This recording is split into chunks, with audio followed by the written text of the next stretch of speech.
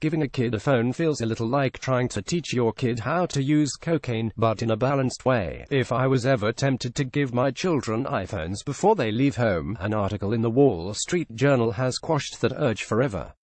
In Parents' Dilemma, When to Give Children Smartphones, writer Betsy Morris examines the incredibly complex tug-of-war game that modern parents are being forced to play with tech and media corporations, a fight as lopsided as it sounds. The allure of phones and social media apps is irresistible to young people.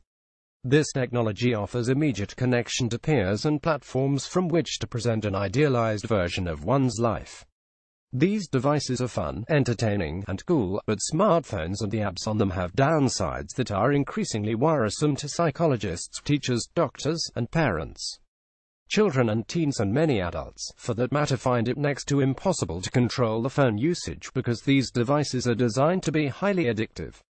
As Morris wrote, the goal of Facebook Inc., Alphabet Inc., S. Google, Snap Inc., and the peers is to create a host captivating experiences that keep users glued to the screens, whether for Instagram, YouTube, Snapchat or Facebook.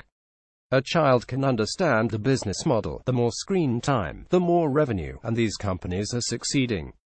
The average US teen aged 13 to 18 spends 9 hours a day glued to a screen outside of school hours. All that time online means time taken away from other activities.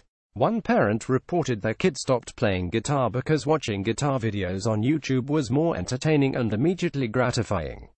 Sleep is commonly compromised when young teens have phones in the rooms at night, with one example given of a boy staying up till 3 a.m. to play video games. There is a rampant culture of cyberbullying that is deeply disturbing and appears to be tied to rising suicide rates. About 16% of the nation's high school students were bullied online in 2015, according to the U.S. Centers for Disease Control and Prevention.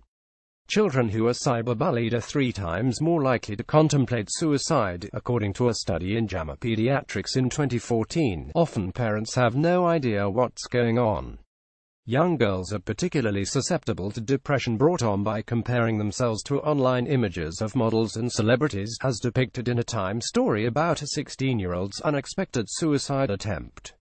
Even parents who are tech-savvy might not know about their kid's Finsta account, a fake Instagram account that is created in addition to the one monitored by parents.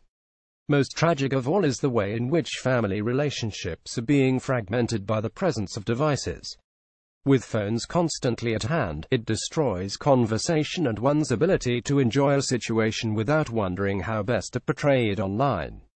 It distracts from interacting with people who are present. One might wonder who has texted them in the meantime. It creates tension between parents and children about the rules of use. Kristen Braun is a mother from Austin, Texas, who optimistically bought iPhones for her girls at ages 5 and 7.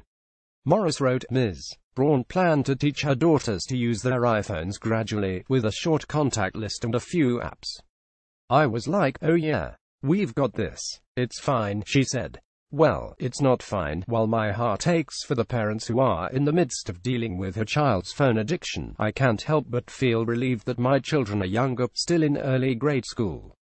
It means we were spared being part of the original cohort of early tech adopters and the steep learning curve that went with it were almost entirely screen-free at home, with no TV or iPads, and two password-protected smartphones that our kids are not allowed to touch. The young age has given me and my husband the advantage of time and distance, and slowly accumulating new research to see how well it's gone at HASNT and whether we want that for our family we don't.